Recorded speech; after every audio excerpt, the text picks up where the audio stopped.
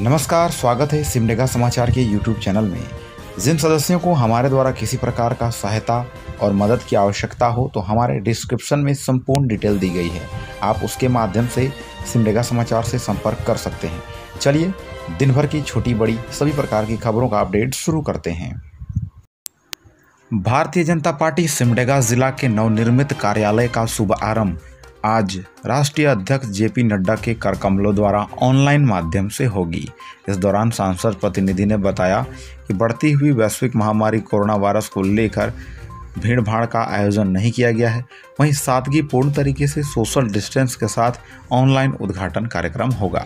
वहीं जलडेगा में जैसल पीएलएस की ओर से बागवानी मित्रों को प्रशिक्षण दिया गया। इस दौरान उन्हें बिरसा हरित ग्राम योजना के तहत चल रहे आम लगाने के योजना के संबंध में जैसल पीएलएस की ओर से प्रशिक्षण दिया गया। इस दौरान सभी मित्रों को जानकारी दी गई कि किस प्रकार से खेती करते हुए उन्नत किस्म का हमें फ़सल का लाभ मिल सकेगा ताकि इसका फ़ायदा होगा।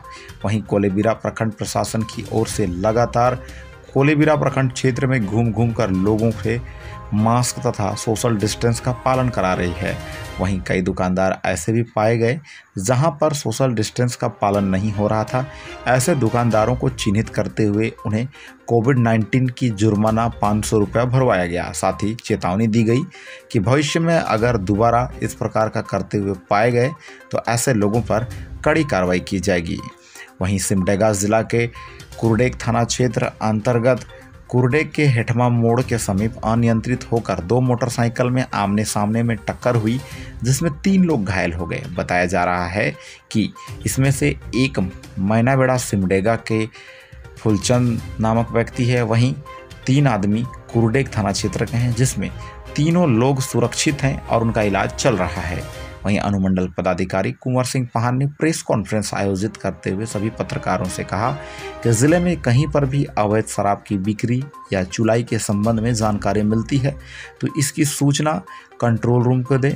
आवश्यक कार्रवाई की जाएगी। उन्होंने कहा, जिला में किसी भी प्रकार से अवैध शराब का कारोबार को फलने फूलने नहीं दिया जाएगा। इसके लिए आम जनों को भी जागरूक होने की आवश्यकता है। वहीं सांसद प्रतिनिधि सुशील श्रीवास्तव के द्वारा कुरडेक प्रखंड क्षेत्र में वृक्षरोपण कार्यक्रम का आयोजन करते हुए वृक्ष लगाया गया इस दौरान उन्होंने कहा कि वृक्ष संसार को बचाने के लिए एक अहम हिस्सा है, जिससे हमें प्राणवायु मिलता है। ऐसे में हम सभी का कर्तव्य है कि अधिक से अधिक मात्रा में वृक्ष लगानी चाहिए, ताकि लोगों को इसका भरपूर लाभ मिल सके।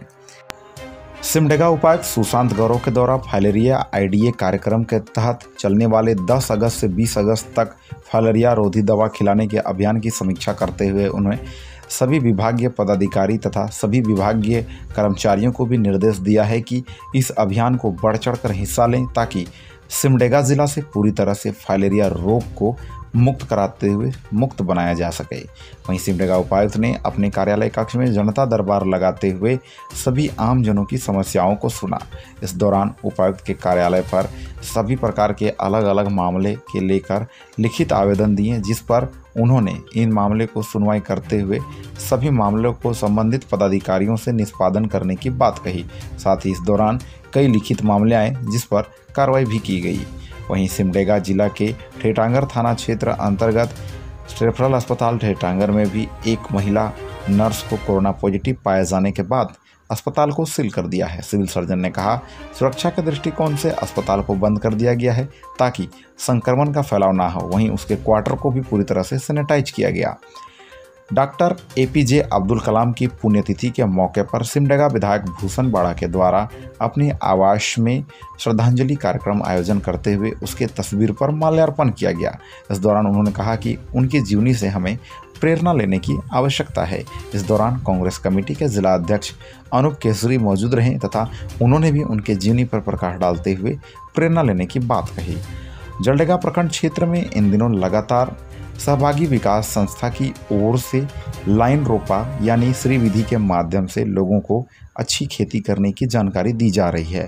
साथ ही इसके अलावा लोग इस पर समय की बचत के साथ अच्छी उन्नत किस्म की फ़सल का लाभ भी ले सकते हैं।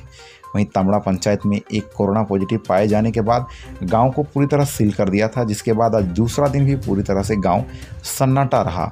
वहीं तामड़ा पंचायत के मुखिया हीरा राम ने कहा कि लोग अभी भी संयम बरतें और अपने अपने घरों में रहें। अनावश्यक घूमने से महामारी का प्रसार फैल सकता है और इससे लोगों को भी काफ़ी परेशानी बढ़ सकती है। कुरडेग, हेठमा तेतर टोली के समीप मोटरसाइकिल से अनियंत्रित होकर दो युवक पुल के नीचे गिरे, जिसके बाद 108 एंबुलेंस की मदद से सदर अस्पताल सिमडेगा लाया गया, जहाँ उसकी हालत को देखते हुए रिम्स रेफर कर दिया गया।